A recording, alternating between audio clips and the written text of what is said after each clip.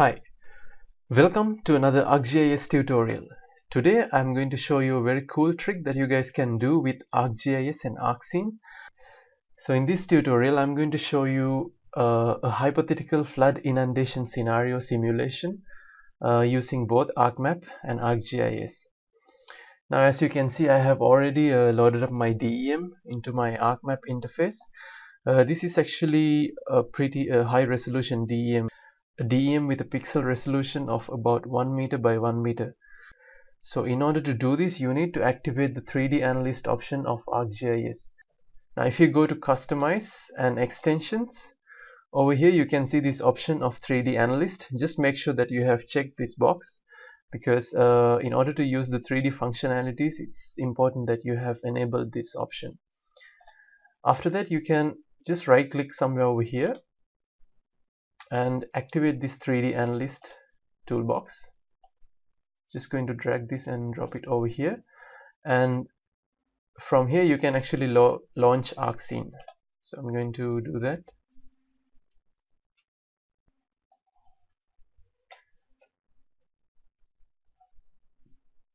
Okay now you can see that ArcScene is already loaded. I'm going to go to catalog and I'm going to navigate to the place where I have uh, saved that the raster. I'm just going to drag it and drop it over here. Alright now you can see that uh, we can sort of visualize it in a in the form of a plane. And the next step that you need to do is you need to go over here and go to properties. And under the tab base heights Select floating on a custom surface and click apply. And it can take a few minutes to actually uh, do the processing.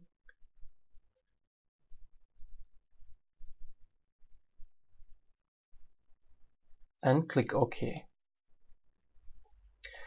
Alright as you can see nothing much happened I'm also going to change the color scheme of this raster to be something uh, something like this. And the next step you have to go to the scene layers and go to scene properties. And over here now we are going to play around with this vertical exaggeration. So if I select maybe around 5 and click apply now you can see that the plane got uh, vertically exaggerated a little bit uh, in terms of z values. But as you can see over here but you can still see that it was not that significant. So I'm just going to go ahead to scene properties again. And I'm going to change the vertical exaggeration to be something around let's say uh, 30 the local mountains sort of uh, got popped up a little bit. I'm just going to maybe increase it a little bit more to be about let's say 50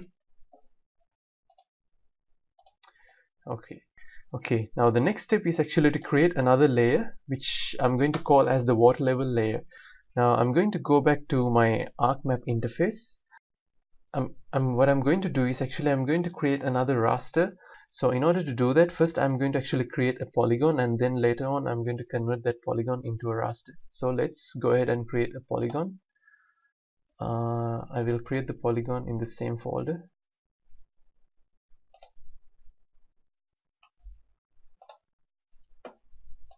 I'm going to name this polygon as water level.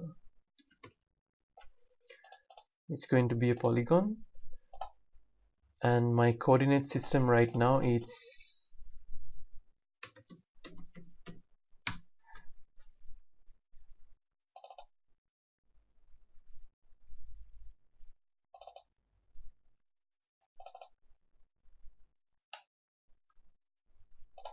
Lambert 1972 because this raster is actually corresponding to uh, some area in Belgium. So I'm going to click OK and click OK over here.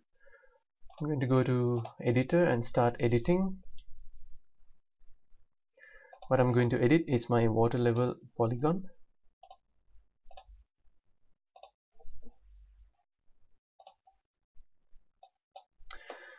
Alright I'm going to create a rectangle which is almost similar in terms of its size to this original raster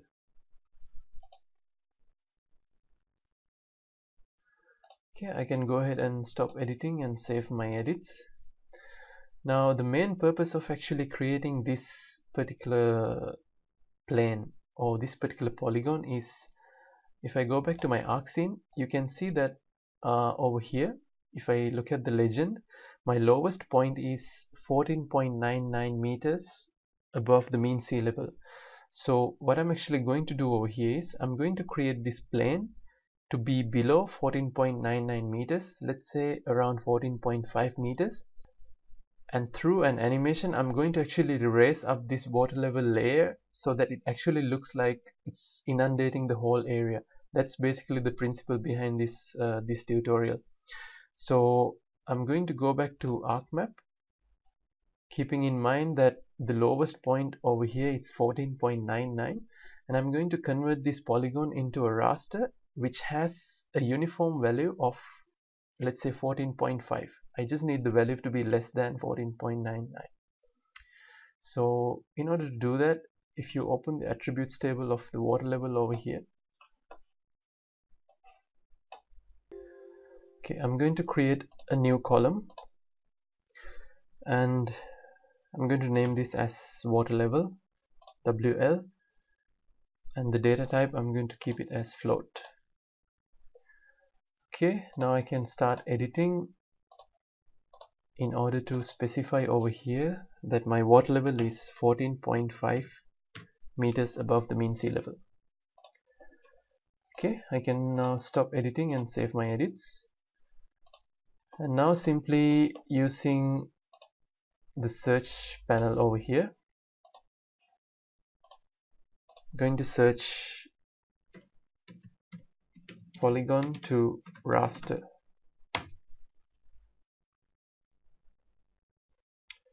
Okay you can use this tool from there. And as the input features now I'm going to specify as my water level. And the value field if you open the attributes table now you can see actually the the value that I need my raster to be is 14.5 across the whole raster uniform value and that's under WL over here. So I'm going to select WL over here. And the rest I'm going to just leave it as it is except for this one where I'm going to actually specify the the location where I'm going to save this raster called WL now click OK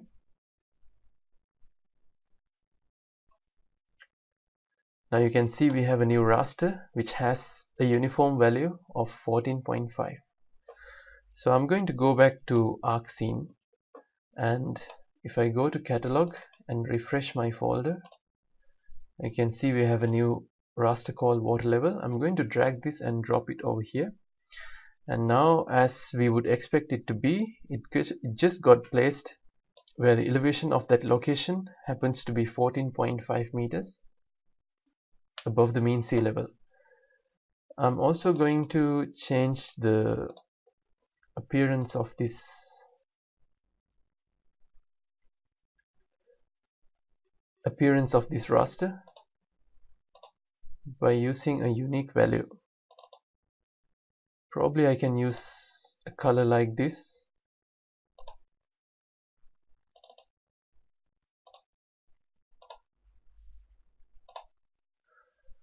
alright now you can see this is actually the layer that I'm going to use as my water level layer. Now the next step is to right click over here and go to animation. And under this animation tab go to animation manager. Now from here make sure that you are in the keyframes tab and you have selected a layer as the key keyframes of type and go to create over here. And as the type select layer. And as your source object select water level. And click new over here. Alright now you're going to create a different keyframes I'm going to create about let's say 10 to 12 keyframes. So you can create one uh, keyframe by just clicking create over here. I can see you can go up to as many keyframes as you would like to have but I'm going to stop at uh, let's say 12 then you can close it over here. Now the translation Z is the place where you can specify how fast actually your water level uh, layer is going to rise up. Uh, so let's say if I'm if I were to start from 14.5 the second keyframe I would say that I, I want it to be at around let's say 15 and the next one uh, I, I might go about two to three increments. 17 maybe 22 25 28 30 32 34 36 let's say I would stop at around uh, maybe 38 okay. So this 38 actually refers to to the highest level that your water level would actually rise up. So I'm just going to close this over here. And then you can go to open animation controls and go to options.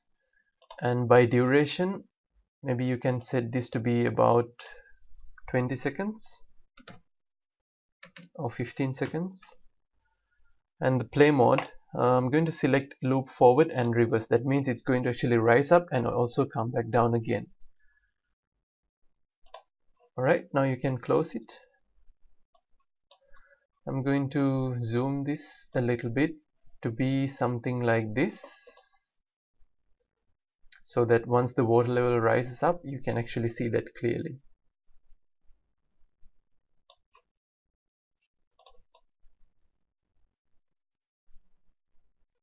Yeah I think something like this would be fine. And then you can just go ahead and click play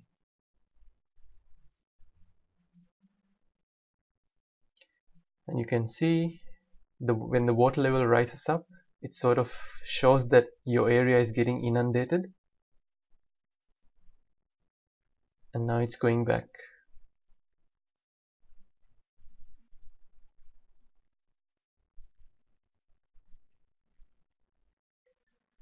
If you would like for the process to happen a little bit slower maybe you can increase the duration to be about 20 seconds you can play again.